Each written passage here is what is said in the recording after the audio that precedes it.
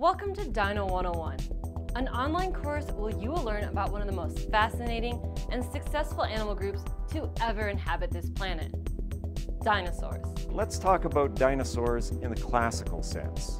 They lived during a period of time called the Mesozoic era, which started about 250 million years ago and ended about 65 million years ago. Dinosaurs were the largest animals to ever walk the earth, magnificent animals by anybody's definition. The basic arrangement of bones in the body is similar among all vertebrates because they evolved from a common ancestor.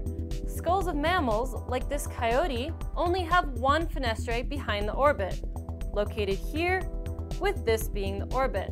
When you move on from this video, you'll have your first experience with your very own 3D fossil viewer.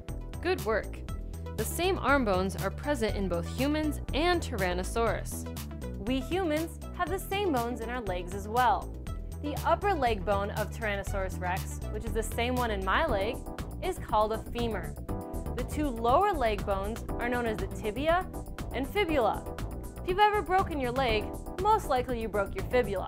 When you leave this video, you'll be taken to an interactive puzzle. You're going to try and build a complete Tyrannosaurus skeleton. Good luck.